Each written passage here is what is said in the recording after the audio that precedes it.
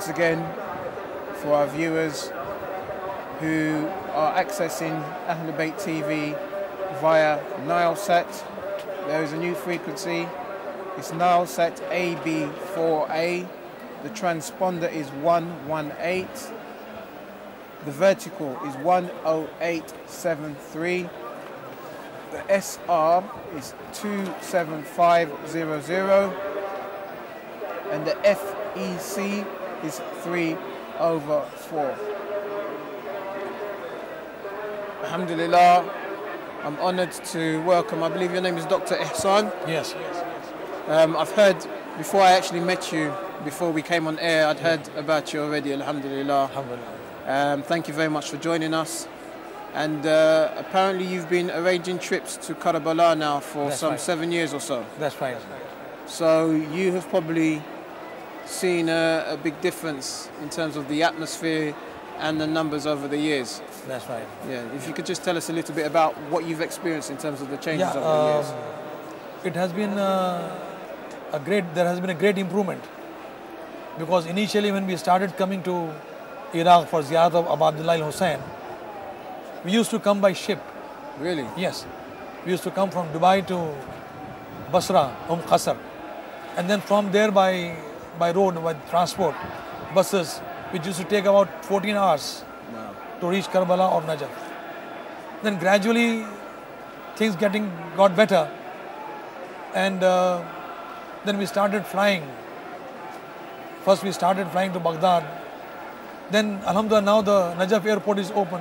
It has become much more easier. Now we are coming to Najaf. And in these trips, um, I would like to thank the, the agents who are helping us here, Al Masar, and also Travelix in Dubai. They have been helping us. Also Jupiter Airlines, and the, of course the government of Iraq. They have been very kind, always providing visas, and the consulate general in, of uh, Iraq in Dubai. We are thankful to them for making our trips so easy and comfortable that we could visit this holy place uh, so often and so regularly. Can I ask you a question? Yes, sir. For people who maybe don't know about him, Imam Hussein alayhi salam, or know about him, but won't necessarily understand that why you would want to come year after year after year. Some people might say you've come once, that's it. You've done. It's not even technically, from a jurisprudential point of view, it's not even wajib to come here. to do Hajj Uh, yeah, is. I know, yes. Yet you've come seven years, and I'm sure, inshallah, you're intending to come next yes, year and the year after. yeah. What makes you keep coming back? Because there are so many traditions which have been, uh, you know, given by our holy imams that anyone who visits the grave of Imam Hussein al salam, Alayhi salam. he his all sins are, you know, wiped out. Plus, there's another tradition that when we come to the holy city of Karbala to, to perform the ziyarah, the number of days that we stay here will not be counted in our life. So, in addition to that, we have so many other traditions which provide, like, for example, after per- performing the Hajj Wajib, when you come to Karbala to perform the Ziyarat Imam Hussein Salam, each Ziyarat, you get sawab of performing many Hajj and Umrah, and those Hajj which have been performed with the with the Holy Prophet Sallallahu Alaihi. So this is the thing which makes us keep coming every time. Yeah. And also, we have been seeing that initially we started with 72 people. Now we have 232 Zarin with us. We could have brought more. The love of Ahlul Bayt, the love of Imam Hussein uh, is so much that they are all keen to come. But unfortunately, the conditions here, the hotels are not uh, able to accommodate them. Yes. Yeah. yes. Unfortunately. Inshallah, we'll be very happy to help all the Zarin to come and visit this holy place. Inshallah. Inshallah. Um, one of the sayers that I was speaking to the other day was predicting that in years to come, I mean, this year you may have heard that 16 million Yeah, that's what I are heard. yeah. here. I mean, uh, you know, as you know, there are many, many more that would love to come, Yeah. inshallah. Uh, I just wonder how this city is going to cope with, with more, but I'm sure. I'm sure it'll uh, Something will work manage. out. Yes. Yes. This is such a place. I think it keeps keeps getting wider and wider. when the people come. Alhamdulillah. Yeah, Alhamdulillah. And uh, have you had any experiences with the khuddam? You know what I mean by the khuddam? Of course, Yeah, I you've know. been coming yes, here yes. many years. So they have been very helpful. Yes, They are taking good care, and we have seen the improvement as I told you. yes. You see, like we have Alhamdulillah six Zarin with us who walked from Najaf Ashraf to Karbala Muqaddas. Alhamdulillah. And uh, they were so stunned that when they started from Najaf Ashraf, on the way they were treated so well. Hmm. The hospitality and you know, they never let them uh, go without food or water, you know.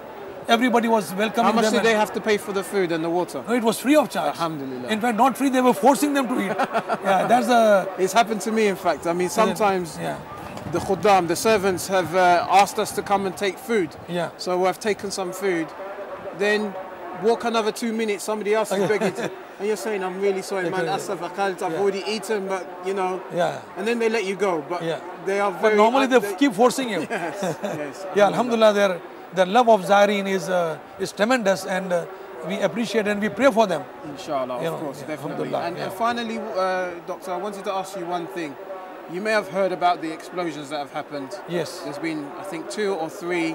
Unfortunately, um, you know, because of the, the network system, it's hard to, to keep Yeah. track. Yeah. Um, shouldn't this make you think twice, maybe about staying No, at no, home? they won't deter us. We'll keep on coming.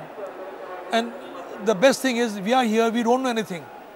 People outside, our children, our parents, they are calling from there. And we don't know what's happening here.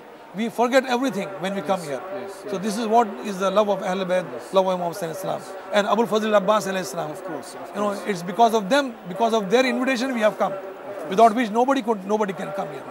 And Yeah. of course, I mean, the, the, the main message of Imam Hussein alayhi salam, and as you said, his, his brother Hazrat Abbas, Yes. is that sometimes in life you have to be prepared to sacrifice everything, That's even right. your own life. That's right. Yes. So, uh, you know, you know, if it so happens that somebody were to, arguably there's no better place. I would consider myself to be the luckiest person Alhamdulillah. if I die here.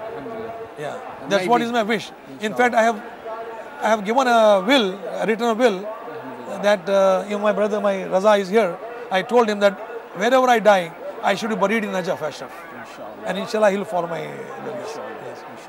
Thank you very much. Thank you very much, and And uh, uh, it's been an honor to meet you. Thank you. And remember, Senor Daz, inshallah. inshallah. Yes. And uh, thank you once again. Yeah. Um, as you can see, and inshallah, we'll be speaking to some, some more members of the doctor's uh, um, group, inshallah. But as you can see, the uh, shock, the, um, how can I say, intense uh, need or want or desire is probably the best word to use to come to Karbala despite all the difficulties, despite, despite the lack of facilities, despite the lack of beds and the fact that um, people have to sleep sometimes even on the street people are more than willing to come.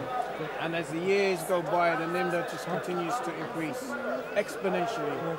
And we pray Allah subhanahu, to Allah subhanahu wa ta'ala that uh, Karbala this small town will continue to accommodate the amount of people that are converging on this holy city inshallah Um, just want to read out, and remind our viewers as well. Um, inshallah, you should have the text number on your screens, hopefully, because um, I think I've actually, yeah, I will try and get hold of it before the end of the show to give to our viewers. Hopefully, it'll be on your screens anyway. But the text message number is um, yes, I'll try and get the text message number to you, but I'm just going to read out one of the text messages that we have received. Remember, we're trying to read out as many as possible.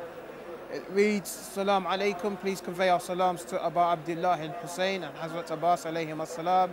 Inshallah, we pray that all the lovers of the Ahlul Bayt and our hajat get accepted. We pray for peace and understanding between each other and the reappearance of Al Mahdi Ajalallahu Farajuh Sharif. Inshallah, may Ahlul Bayt TV continue providing its excellent service from the family of Hasnain Viriji in Birmingham. And as always, I know I'm repeating myself, but the congratulations for the work that Ahlul Bayt TV is doing is really going to the members of staff behind the scenes here in the holy city of Karbala and back in the UK. because they are the ones who are doing all of the groundwork rather than the ones that you actually see in front of you appearing on.